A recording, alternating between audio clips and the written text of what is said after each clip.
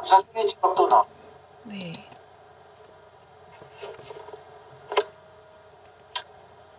교회학교 교사, 네. 교회학교 교사 이거 월급 얼마 받아요?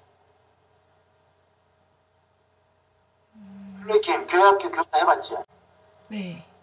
월급 얼마 잖아 월급 없습니다. 월급 안 주는데 왜 하는 거야? 어, 봉사로, 이게 바로 볼런티어링 네. 자원봉사를 하죠. 네. 종교 저 토론토에 저 교황이 한 번 왔었거든. 어, 네. 어, 토론토에 교황이 때그 젊은이들이 전부 다 자원봉사했어. 아, 어, 젊은이들이 전부 다그 청년들이 전부 다 자원봉사. 네.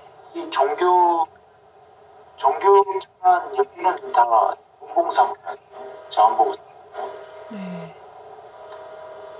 종교라는 게뭐 여기 영리 목적이 아니잖아.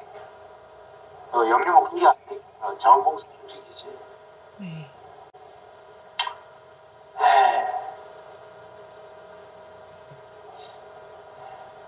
근데 저 여의도 순복음 중학교에 말이야. 네. 내가 교등학교 교수를 하려고 딱 했더니 자리가 없다고 대기자 대기자 번호를 주더라고요. 어, 대기자 번호 먼저 내가 대기자 번호를 부여받아가지고 네. 기다려야 돼. 어, 그러니까 정규직 직원이 만약에 사정이 있어가지고 노사 봉사활동을 못하면 네. 그때 이제 번호 순으로 이렇게 어, 번호 순으로 이 교사를 할. 그리고 영락교회 있잖아. 네. 영락교회 성가대 있잖아. 네. 영락교회 성가대 그 성가대원 학교 하늘에 또 별따기. 어, 영락교회 성가대는 아무나 안 받아. 아, 네. 우리 시험이 엄청 까다로워. 어,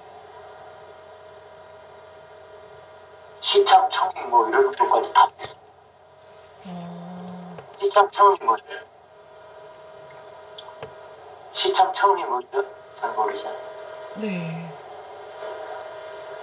악보 보고 노래 부르는 게 시창이잖아요. 어, 네. 근데 개척교회나 영세교회 가면은 봉사할 사람이 없죠. 네. 목사님이 참 죽어나죠. 네. 목사님이 막 죽어나죠.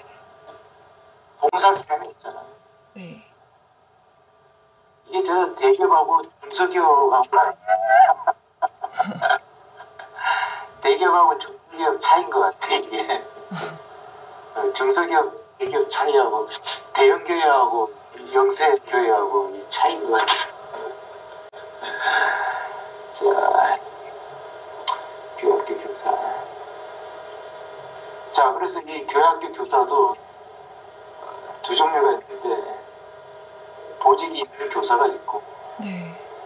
보직이 없는 교사가 있다. 네. 어, 대기자 리스트 뭐 이거 대기자 리스트 사람 집에서 집에서 노는 거 아니야? 네.